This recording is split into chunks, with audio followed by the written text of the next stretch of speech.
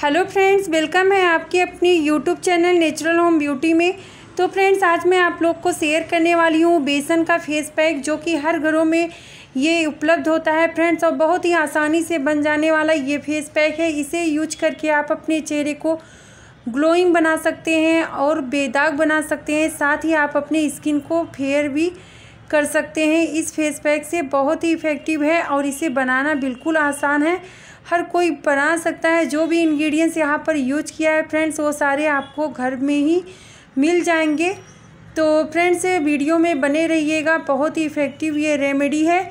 अगर आप जो है इस तरह का पैक अब तक यूज़ नहीं किया है बेसन का बेसन का फेस पैक तो लोग अक्सर यूज़ करते हैं, लेकिन एक बार इस तरह का ट्राई करके देखिएगा फ्रेंड्स बहुत ही इफ़ेक्ट मिलता है। और ये कैसे लगाना है, कैसे यूज़ करना है, सब मैं आप लोग को वीडियो में बताऊँगी। तो फ्रेंड्स, मैंने लिया है ये सारे इंग्रेडिएंट्स ये क्या क्या है, मैं आप लोग को सब बताती हूँ डिटेल में। तो पहले मैंने लिया है खाली बाउल और उसमें मैंने डाला है एक बड़ा चम्मच बेसन। तो बेसन जो होता है, वो क्लिंजर का काम करता है। फ्रेंड्स, आपके चेहरे को क्लीन करने में काफ़ी हेल्प करता है और साथ ही आपके चेहरे को फेयर भी करता है। तो अब हम सेकेंड इंग्रेडिएंट्स ले रहे हैं। फ्रेंड्स, हल्दी।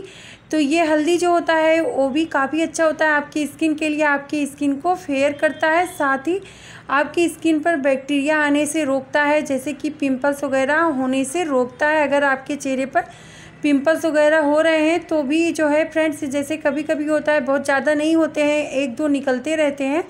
तो इस तरह आप होम रेमेडीज़ द्वारा बिल्कुल फ्रेंड्स, आप अपने चेहरे को क्लीन, फेयर के साथ साथ आप हेल्थी भी बना सकते हैं।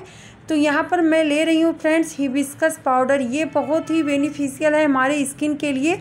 आपकी स्किन को सॉफ्ट बनाता है फेयर बनाता है और आपके स्किन के दाग धब्बों को रिमूव करता है।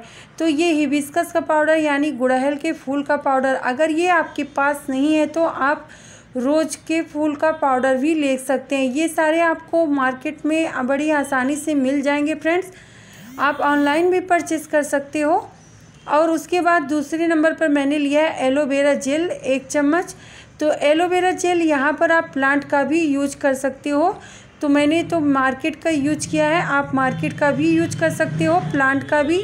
तो और अब हम इसमें यूज़ करने वाले हैं रोज़ वाटर। तो रोज़ वाटर जो है फ्रेंड्स, हम इसी में ही इस पैक को बनाएँगे, इसमें वाटर का यूज़ नहीं करेंगे। और इसी से बनाएँगे वाटर के तो रोज़ वाटर के आप लोग बेनिफिट तो जानते ही हैं कि आपकी स्किन को हाइड्रेट करता है, पीएच लेवल को कंट्रोल करता है। साथ ही ये जो है, क्लिंजर के रूप में भी बहुत बेस्ट माना जाता है। तो फ्रेंड्स, हम इसी रोज़ वाटर में ही इसका पैक बनाएँगे। और एलोवेरा का भी मैंने यूज़ किया है। एलोवेरा भी जो है, आपकी स्किन को सॉफ्ट बनाएगा, टाइट बनाएगा, ग्लो ग्लो बनाएगा। साथ ही आपकी स्किन में ग्लो बरकरार रहेगा। तो इस तरह सारे इंग्रेडिएंट्स को मिक्स करके इस तरह का पैक बनाना है, जो कि बहुत ज़्यादा थिक भी नहीं रहेगा और बहुत ज़्यादा पतला भी नहीं रहेगा। तो वीडियो को मैंने फास्ट कर दिया है फ्रेंड्स तो इस तरह आपको अपने जो है क्लीन चेहरे पर लगाना होगा, यानी कि मेकअप वगैरह नहीं होना चाहिए। तो बचे हुए पैक को मैंने हाथों में भी लगा लिया है। तो फ्रेंड्स इसे जो है फिर आप हैंकी से साफ़ कीजिएगा, अच्छे से। और साफ़ करने के बाद फिर आप ओनली वाटर से भी अच्छे से एक बार साफ़ कर लीजिएगा। उसके बाद मैंने रोज़ वाटर यूज़ कर लिया है और रोज़ वाटर का टोनर और उसके बाद ये मैं लगा रही हूँ पपाया का जेल यहाँ पर आप कोई मॉइस्चराइज़र क्रीम भी लगा सकते हो। और इस तरह अगर आप नाइट में करते हो तो फ्रेंड बहुत ही अच्छा इफ़ेक्ट पड़ेगा क्योंकि नाइट में सोने के बाद में वैसे ही आपकी स्किन काफ़ी जो है, आप देखे होंगे, काफ़ी रिलैक्स हो जाती है और काफ़ी फेयर भी दिखती है। और अगर आप नाइट में इस फेस पैक को लगाएँगे तो बहुत ही अच्छा असर होगा। तो फ्रेंड्स मिलते हैं नेक्स्ट वीडियो में एक नई ब्यूटी टिप्स के